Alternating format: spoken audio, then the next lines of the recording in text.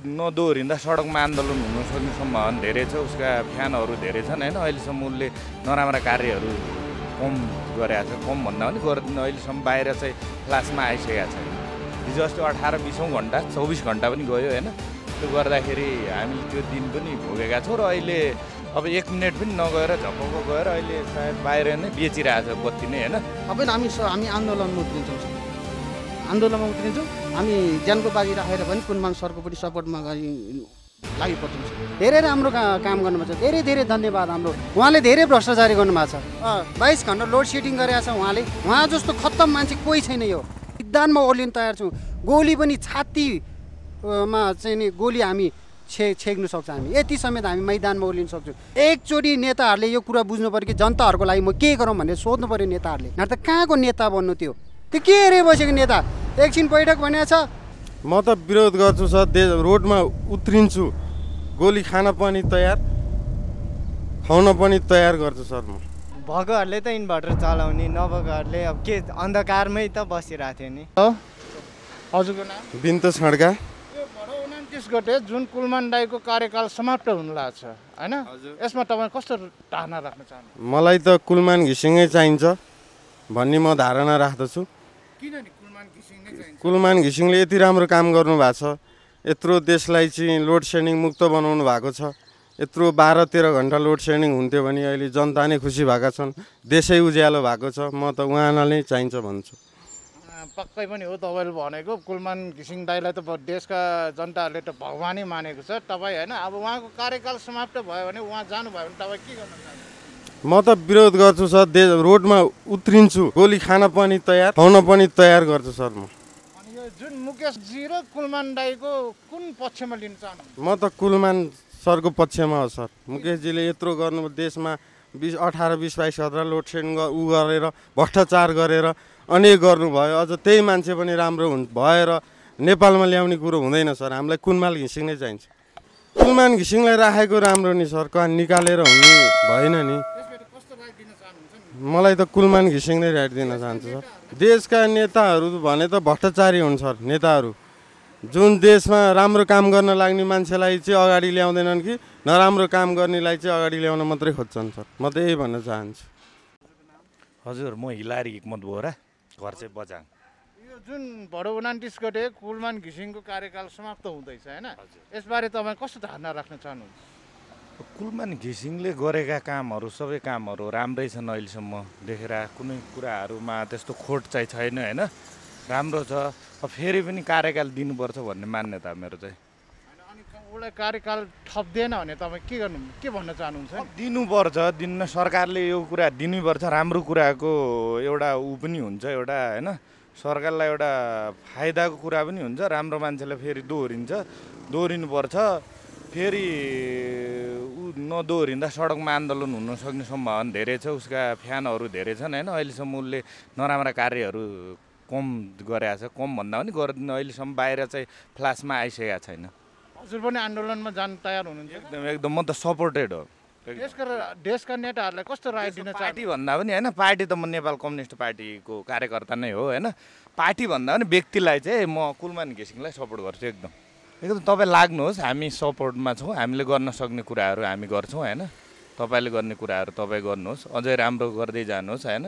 हिजो अस्ति अठार बिसौँ घन्टा चौबिस घन्टा पनि गयो होइन? त्यो गर्दाखेरि हामीले त्यो दिन पनि भोगेका छौँ र अहिले अब एक मिनट पनि नगएर झपक्क गएर अहिले सायद बाहिर नै बेचिरहेको छ बत्ती नै होइन? उहाँले गर्दा भइरह्यो उहाँकै पहलमा भइरह्यो। मैले बुझ्दा चाहिँ। अब व्यक्ति व्यक्तिगत मनपर्ने मान्छे हो क्या त्यो। मेरो नवराज खड्का।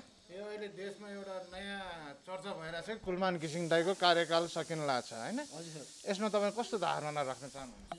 हामी कुलमान सरकै उसमा छौँ सर होइन? उहाँले हाम्रो यो लोड सेडिङ मुक्त बनाइदिनु भयो। त्यसैले हामी कुलमान सरकै उसमा छौँ। किन उहाँले यो हामी यो अन्धकारमा भएको जनतालाई उहाँले उज्यालो दिनुभयो। त्यसैले हामी उहाँको सपोर्टमा छौँ। मुकेश काफले आयो भने हामी सत आन्दोलनमा उत्रिन्छौँ सर। मुकेश काफ्लेलाई के भन्न चाहनुहुन्छ? उहाँले त्यति अब विद्युत प्राधिकरणमा आएर उहाँले धेरै घोटाला पनि गर्नुभयो साथसाथै उहाँले जनतालाई अन्धकारमा राखिदिनु भयो कुलमान सरले आएर हाम्रो लोड सेडिङ मुक्त बनाइदिनु भयो र देशको जनतालाई उहाँले उज्यालो एउटा उज्यालोको उ दिनुभएको कारणले हामी कुलमान सरलाई पनि सपोर्ट गर्छौँ आउलाको क्याबिनेट बैठकमा जुन अब बैठक बस्नुहुन्छ नि सरकार नेताहरू कस्तो राय दिन चाहनुहुन्छ नि?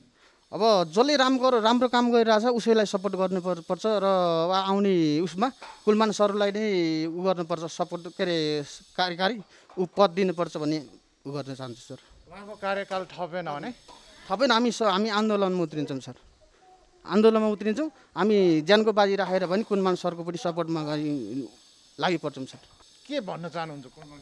होइन अझै राम्रो राम्रो काम गर्नुभएको छ र अझै राम्रो काम गर्नुहोस् र देशका देशको यो कार्यकारी पद सम्हाल्नुहोस् नयाँ पदलाई सम्हालेर अगाडि बढ्नुहोस् अझै राम्रो काम गरेर देखाउनुहोस् भन्न चाहन्छु सर। तपाईँको नाम? मेरो नाम राजकुमार तामाङ। यो जुन अहिले भडो उनातिस गते यो कुलमान सिंह दाईको अब कार्यकाल समाप्त हुन लाग्छ यसमा तपाईँ के धारणा राख्न चाहनुहुन्छ? म चाहिँ पुलमान घिसिङ नै आएको राम्रो लाग्छ। किनकि उहाँले बाइस घन्टा लोड सेडिङ गरेको ठाउँमा अहिले उहाँले अँध्यारोको ठाउँमा उज्यालो बनाउनु भएको छ। किनकि धेरै राम्रो का- काम गर्नुभएको छ धेरै धेरै धन्यवाद हाम्रो। मुकेशजीले पनि पहिला त काम गरेको थियो नि होइन र? उहाँले धेरै भ्रष्टाचारी गर्नुभएको छ। किनकि चाइनाबाट यस्तो यो इलेक्ट्रिक सामानहरू ल्याएर अहिले त्यो सामानहरू थन्काउनु पर्यो। उहाँले धेरै भ्रष्टाचारी गर्नुभएको छ। किनकि उहाँ जस्तो भ्रष्टाचारी यो देशमा कामै छैन कि। हामी नेपाली दुई बाइस घन्टा लोड सेडिङ गरेका छ उहाँले। किनकि उहाँ जस्तो खत्तम मान्छे कोही छैन यो। कुलमान घिसिङ दाई नै अहिले कार्यकाल थपे हुन्छ कि हुँदैन? तपाईँलाई अर्कोलाई चान्स दिएर राम्रो हुन्छ कि कुलमान घिसिङ दाईकै अब कार्यकाल थपे राम्रो हुन्छ जस्तो लाग्छ?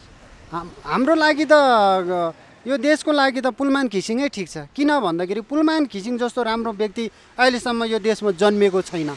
उहाँको कार्यकाल थपेन भने के भ- दे- देशका नेतालाई कस्तो राय दिन चाहनुहुन्छ नि? कार्यकाल थप्नुपर्छ भन्ने राय दिनुहुन्छ कि कार्यकाल अब अर्कोलाई चान्स दिनु भन्ने राय दिन चाहनुहुन्छ? म नेताहरूलाई के भन्न चाहन्छु भनेदेखि उहाँलाई नै थप गर्नु पऱ्यो यहाँ। अरू ल्याउनु भएन।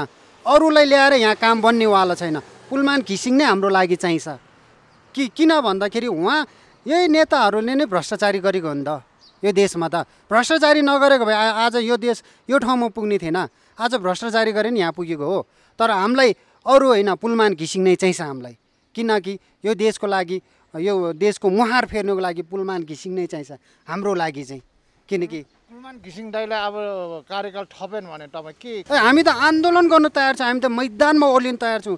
गोली पनि छाती अ, मा चाहिँ नि गोली हामी छे छेक्नु सक्छ हामी। यति समेत हामी मैदानमा ओर्लिन सक्छौँ।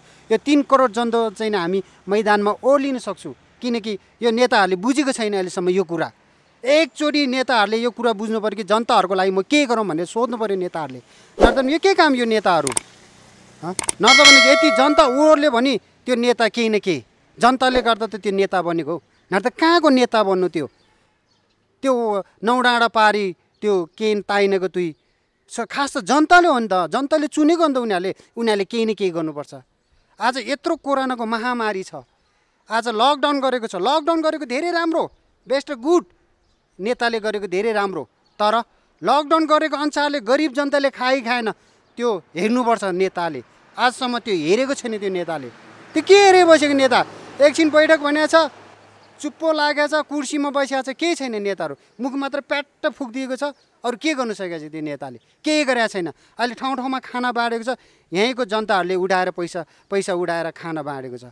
होइन यो लकडाउनको बारे त ठिकै छ। अहिले हामी कुलमान घिसिङ दाईको कुरा गर्दैछौँ। कुलमान घिसिङ दाईलाई अहिले सारा जनताले भगवान्को रूपमा मान्नुहुन्छ हो कि? हजुर अँ हो। उहाँलाई एकदम भगवान्को रूपमा मान्नु भएको छ। किनकि उहाँ जस्तो मान्छे यो यो नेपालभरिमा छैन संसारमै छैन। उहाँ नै चाहिन्छ हाम्रो लागि चाहिँ। किनकि उहाँले गर्दाखेरि पहिला बाइस घन्टा लोड सेडिङ छ भने अहिले बाइस घन्टा पनि हुँदैन। अहिले किनकि एक सेकेन्ड पनि लोड सेडिङ हुँदैन। हाम्रो लागि उहाँ नै चाहिन्छ। उहाँले नै गर्नुपर्छ यो काम। उहाँ नै त्यो अफिसमा हुनु पर्यो भएन भने हामी आन्दोलन गर्नु तयार छौँ। किनकि मेरो नाम प्रेम प्रसाई के गर्दै हो भाइ? अहिले लकडाउनको समयमा के गर्दै हो? अँ, यतिकै बसिरह अब घरमा अल्छी लागेर अब यतिकै बसिरह बाहिर निस् डर लागेन? डर लाग्यो भने अब भित्र के कोचेर बस्नु भनेर बाहिर यसो निस्केर बसिरहेको। ए अरू ठिकै छ। जुन अहिले भडो उनातिस गते हाम्रो कुलमान घिसिङ दाईको कार्यकाल सक्न लागेको तपाईँलाई थाहा छ होला। यसमा कस्तो धारणा राख्नु? अब कुलमान घिसिङ सरलाई चाहिँ अब सारा जनताले लाइट किङ भनेर चिनिरहेछ होइन? अब उहाँलाई त हटाउने त कुरै भएन होइन? झन् अब कति उहाँको पुरै चाहिँ रा राख्नुपर्छ भन्छु म चाहिँ। उहाँले उहाँले चाहिँ यत्रो वर्षसम्म अठार उन्नाइस घन्टा लोड सेडिङ हटाउनु भयो हुन्थ्यो पहिला त्यो हटाउनु भयो। अहिले राम्रो गर्नुभएको छ। यत्रो लोड सेडिङ मुक्त देश बनाउनु भयो। अब त्यही नै हो। तपाईँलाई जुन मुकेश ठिक लाग्नु लाग्छ कि कुलमान घिसिङ दाई ठिक लाग्छ? कुलमान घिसिङ नै ठिक लाग्ने हो भने मुख्य अब चार चार वर्ष उहाँको काम सबैलाई थाहा छँदैछ होइन? अन्धकार अन्धकार थियो। बाइस घन्टा लोड सेडिङ अब इन्भर्टरहरू चलाएर बस्नुपर्ने अवस्था थियो। होइन इन्भर्टर भएकोहरूले त इन्भर्टर चलाउने नभएकोहरूले अब के अन्धकारमै त बसिरहेको थियो नि।